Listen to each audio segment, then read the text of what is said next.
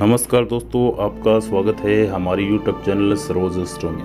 आज हम बात करने वाले हैं सपने में किन्नर को आशीर्वाद देते हुए देखना कैसा होता है। शुभ संकेत होता है या फिर अशुभ संकेत होता है? हमारे हिंदू धर्म में किन्नरों के आशीर्वाद और किन्नरों के श्राप के बारे में बखूबी से बताया गया है। लोग किन्नरों के आशीर्वाद के लिए तरसते हैं, क्योंकि पुराणिक कथाओं के अनुसार जब भगवान रामचंद्र जी चौदह वर्ष के लिए वनवास गए थे उस समय सभी लोग रामचंद्र जी के लिए विलाप करने लगे।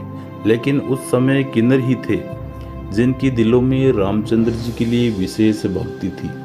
जब रामचंद्र जी चौदह वर्ष का वनवास काटकर वापस आए तो जिन किन्नरों को छोड़ गए थे, वही किन्नर उनकी राह देख रहे थे और सभी लोग अपने घर बार को देखने में व्यस्त थे।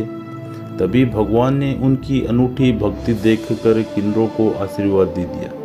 कि आप मेरे हद्दे के सबसे करीब हैं। आप जब किसी व्यक्ति को आशीर्वाद देंगे तो उन लोगों पर साक्षात मेरी कृपा होगी, जिससे उनके परिवार में सुख, शांति और वैभव होगा। तभी लोग किन्नरों के आशीर्वाद के लिए तरसते हैं। इसके साथ ही लोग किन्नर के शराब से भी बचते हैं। जितना प्रभावी उनका आशीर्वाद होता है, उतना प्रभावी उनका श्राप भी होता है। दोस्तों, वास्तविक जीवन में किन्नरों के आशीर्वाद का बहुत ज़्यादा महत्व है। दोस्तों, बात करते हैं सपने की।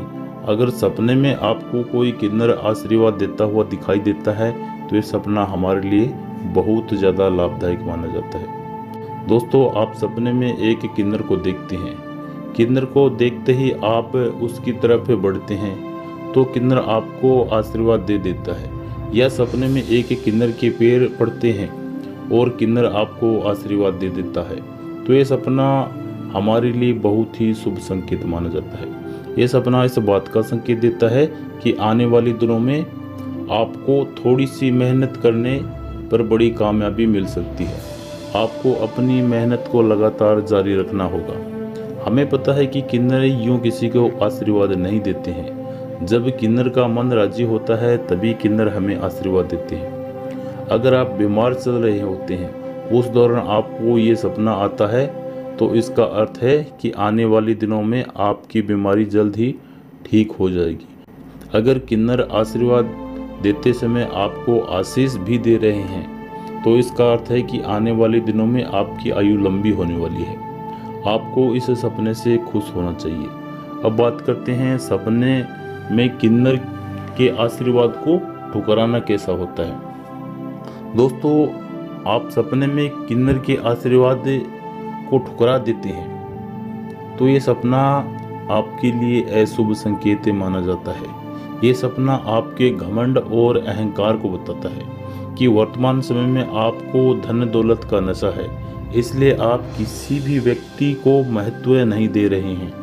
अगर आप सपने में अपने घमंड स्वरूप किन्नर के आशीर्वाद को ठुकरा देते हैं तो इसका अर्थ है कि आने वाले दिनों में आपसे वो लोग नाराज़ हो सकते हैं, जिनके बलबूते पर आप इतने सफल बने हैं। हो सकता है आपको घमंड स्वरूप अपने प्यार को छोड़ना पड़ सकता है। अब बात करते हैं सपने में किन्नर का श्राप देना कैसा होता है। दोस्तों, जिस प्रकार किन्नर की दुआ खाली नहीं जाती, उसी प्रकार किन्नर का श्राप या किन्नर की बदुआ भी खाली नहीं जाती। सपने में आप देखते हैं कि आपके घर कोई किन्नर आया है। आप उस किन्नर को नाराज़ कर देते हैं। तो ये सपना हमारे लिए अशुभ संकेत माना जाता है। तो ये सपना इस बात का संकेत देता है कि आने वाले दिनों में आपको अपमान का सामना करना पड़ सकता है। हो सकता है कि आपके हाथों से कोई ऐसा काम हो जाए, जिसके कारण आपकी बनी बनाई इज्जतें मिट्टी में मिल जाए। तो दोस्तों, इस सपने के बाद आपको इस बात का ध्यान रखना है कि अपने हाथों से किसी ऐसे व्यक्ति का अपमान ना हो जाए, जिसे हम बेकार समझते हैं। लेकिन उस व्यक्ति का हमारे जीवन में बहुत बड़ा महत्व है। दोस्तों, आज हमने जाना कि सपने में किन्नर का आशीर्वाद देना या सपने में दोस्तों, आज हमने जाना कि सपने में किन्नर का आशीर्वाद देना या सपने में किन्नर के आशीर्वाद को ठुकराना कैसा होता है। दोस्तों, आज की हमारी वीडियो आपको कैसी लगी? अगर आपको हमारी वीडियो अच्छी लगी तो इस वीडियो को लाइक करें और हमारे चैनल को सब्सक्राइब करें। तो दोस्तों, मिलते हैं अगली वीडियो में एक नए सपने के साथ। तब तक के लिए जय हिंद, जय भारत, धन्यवाद दोस्तों।